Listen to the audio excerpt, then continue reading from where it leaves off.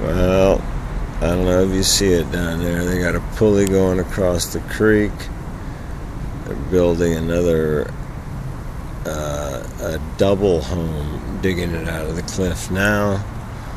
On this side of the creek on Orvis, they've got two cutouts over there. And of course, you know, the creek is uh, just filthy.